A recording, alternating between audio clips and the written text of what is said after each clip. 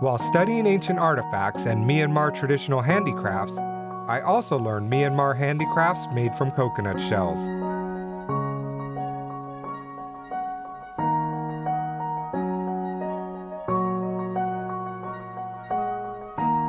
These are generally worthless and discarded stuff, but I combine them with Myanmar traditional technique, reflecting Myanmar culture to create masterpieces of art.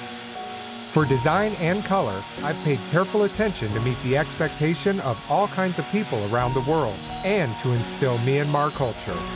I took reference copies from Dr. Than Tun's History of Pottery in Myanmar for some designs.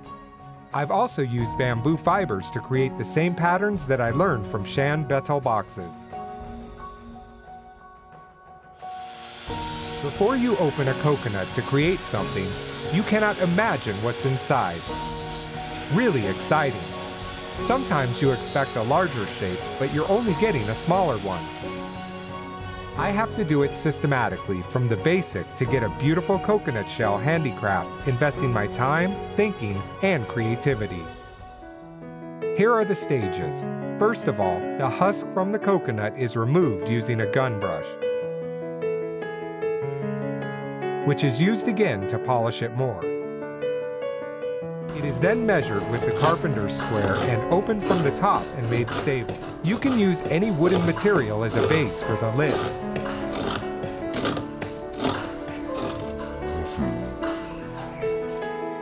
Then, both the base and the detached lid are glued to become a cap.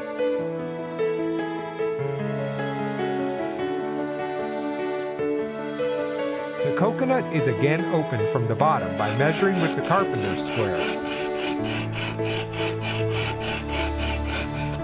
The removed lid is turned upside down, glued, and used as a covering at the bottom.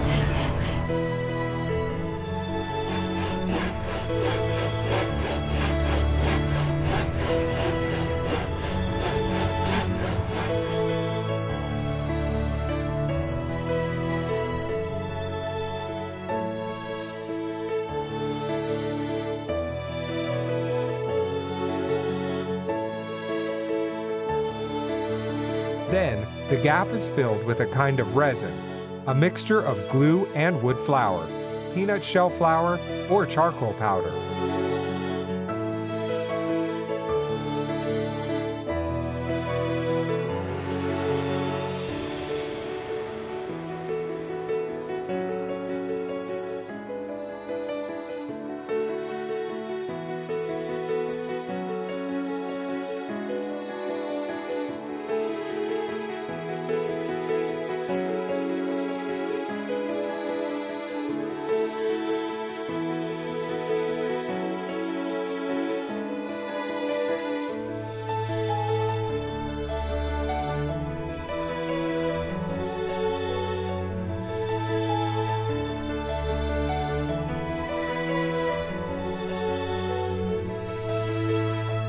Then the background color is sketched with attractive designs to get a draft item.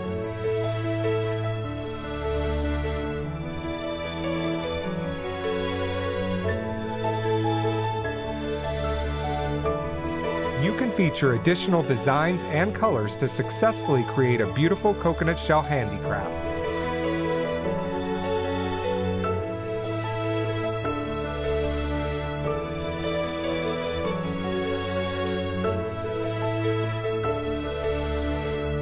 Bagan Trade, B2B international trading platform. Make local, trade global.